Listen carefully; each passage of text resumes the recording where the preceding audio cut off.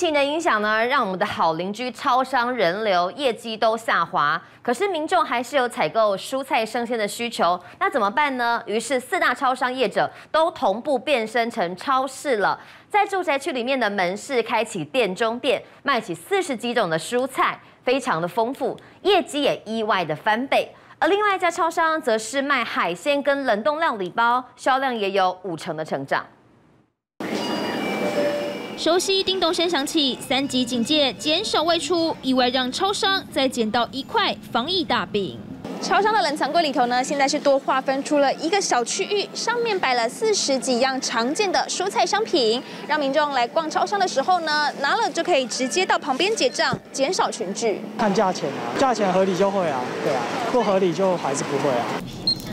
有没有比较贵？以空心菜来比一比，市场一把大约二十五到三十五元上下，超商两百一十克卖三十九元，算合理，也比一般生鲜超市两百五十克卖四十七元还要便宜。蔬菜业绩已经翻倍成长，那我们也从五月底开始在线上贩售了蔬菜箱，那也创下了五百箱三分钟完售的一个佳绩。全家两百间门市打造成超市机能店，莱尔富更是直接把。海鲜柜都搬进来，轮切鲜鱼片、嫩煎牛排到调味过的鱼丸汤、熊青烟，现在竟然在超商里头就能买到。